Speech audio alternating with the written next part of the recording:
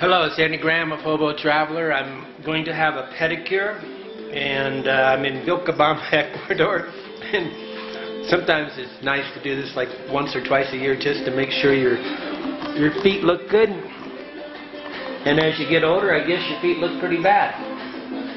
And I'm in a little place here just off the square. And I'll try to show you a little bit before and after. Like I want to show you my ugly feet, right? This is probably against the male macho code to do this, but I'm going to do it anyway, guys. I'll show you a little bit after I'm done. Okay, I'm going to have Karina do this. She's the lady over here, and she just put my feet into a some kind of tub of water, It's hot. She actually heated it up already. And uh, this costs $5, guys, so that's why I'm doing it. If it cost any more than $5, I wouldn't do it. But I'll keep showing you through the process. Okay, Karina started. Karina. Carinosa, see? Mm-hmm. Karina is like, uh, Carinosa means like uh, loving, like in a way. Very like handling with care. Moving and caring. So she's doing my $5 uh, pedicure. It's a good way to make your feet look good in sandals, guys. Where she's sterilizing things, I guess. Can't hardly see it, but it says food, ultraviolet, and heating sterilizer. She's getting out her weapons. Oh, she wants my foot up there.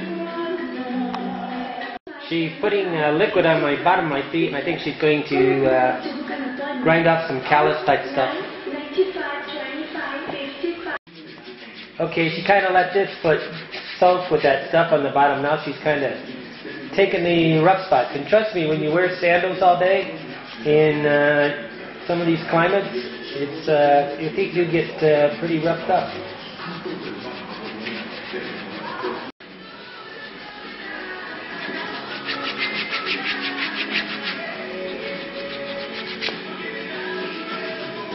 Now she's rubbing salt and sort of, uh, sort of abrasively cleaning the whole uh, foot.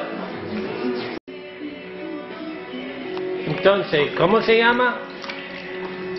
Mira de mí, ¿Ah? Karina. Karina. ¿Y cuánto cuesta? Her name's Karina. ¿Cuánto cuesta para Pedicure, 5 dólares. Do you speak English?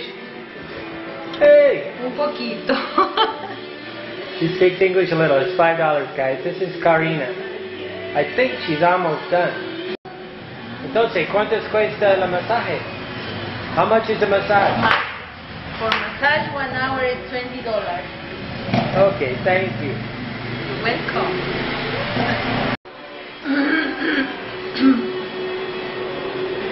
Cream. Okay, I think my feet are much cleaner, much nicer, and kind of like a gift to the girls, right? Hey.